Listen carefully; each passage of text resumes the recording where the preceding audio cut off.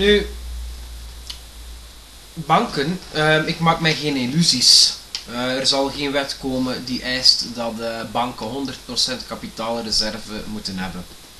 Ehm, dat zal niet gebeuren. Waarom niet? Omdat eigenlijk... Ehm, goed, de wonderen zijn de wereld nog niet uit en het kan gebeuren, maar ik vrees van niet. Maar dat is eigenlijk niet nodig om toch te zorgen dat je uh, een gezond banksysteem hebt. Uh, het is inderdaad wel frauduleus. En dat, dat, banken eigenlijk spaarders wijs maken dat ze op elk moment al hun geld kunnen afhalen. Ehm, het is ook zeer bedenkelijk te weten dat dus banken eigenlijk ehm, ja, maar 10% van het eigen kapitaal hebben om al die verliezen te dekken. dus um, als spaarder zou ik dat toch niet vertrouwen. Maar Desalniettemin is het toch nog altijd mogelijk van in zo'n systeem een gezonde bank te hebben. En dat hangt volledig af van de soort beleggingen dat die bank doet. Ja? En daar heb je wel degelijk een groot onderscheid. Alle banken werken met die hefboom. Alle banken hebben maar een reserve van 8%, 10%. Ja? Dus eh, bij mij weten bestaan er geen banken die 50% eigen kapitaal hebben van hun beleggingen. Dat bestaat niet. Maar wat het er wel bestaat, dat zijn banken die hun geld toch wel veel conservatiever leggen dan onze, onze bank, dan onze grootbanken.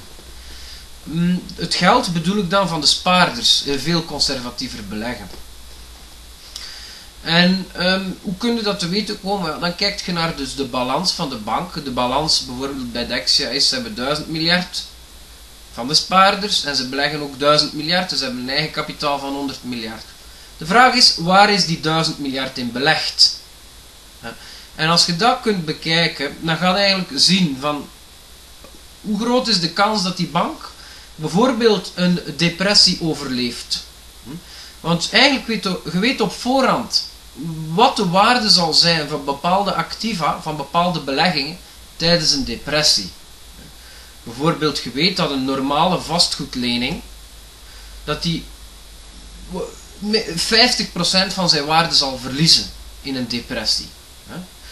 Maar je weet ook dat, die, dat goud, als de bank goud ook heeft in zijn beleggingen, dat dat waarschijnlijk zal stijgen in waarde. En je weet ook dat als de bank niet alles uitleent aan vastgoedbeleggingen, maar dat hij ook bijvoorbeeld een deel in staatsobligaties heeft, dat die waarde waarschijnlijk beter behouden zal blijven dan vastgoedlening. Um, en zo zijn er een hele hoop beleggingen dat een bank kan doen met geld van de spaarders, die al dan niet uh, veiliger zijn. En dat is eigenlijk dus de kunst. Als je wilt te weten komen of dat je een veilige bank hebt of niet, dan moet je eigenlijk kunnen die balans bestuderen. Waar is dat geld in belegd? En is dat eigenlijk een vrij veilige belegging? Ook als het echt slecht gaat, als het echt crisis wordt. En dat, uh, dat onderzoek wordt eigenlijk niet gedaan in België of in Nederland. Uh, ik weet geen enkele organisatie die zich daarmee bezighoudt. Uh, ik ken geen enkel rapport, ik heb nog geen enkel gevonden, van een van de grootbanken die dus uitlegt waar dat hun geld van de spaarders in is belegd. Um, en daardoor weet ik niet of dat die banken veilig zijn of niet. En ik weet dat ook niet van geen enkele kleine, kleine bank in onze regio's. Men zegt Argenta is veilig of de Postbank is veilig, maar ik weet het niet. Ik weet niet waar dat, dat geld in belegd is. En ik betwijfel ten zeerste of dat daadwerkelijk conservatief belegd is. Ik betwijfel ten zeerste of dat die banken die vandaag nog veilig zijn, of dat die wel degelijk een serieuze portie goud hebben. Ik, ik geloof dat niet. Of dat die wel degelijk een serieuze portie lange termijn staatsobligaties hebben. Ik geloof het niet.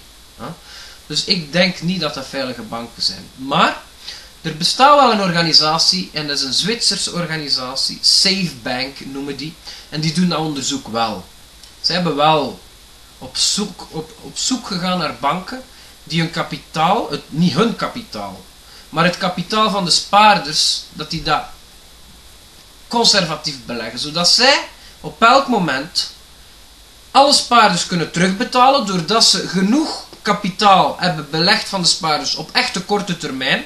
En dat ze het wel degelijk kunnen terugeisen op elk moment en terugbetalen aan de spaarders. En dat ze ook dat kapitaal conservatief hebben belegd. Dus zodat dat eigenlijk zijn waarde niet verliest ten tijde van een depressie. En ook hebben zij gezorgd dat ze eigen kapitaal toch wel een pak meer hebben dan het vereiste minimum, zodat ze eventuele verliezen ook kunnen opvangen.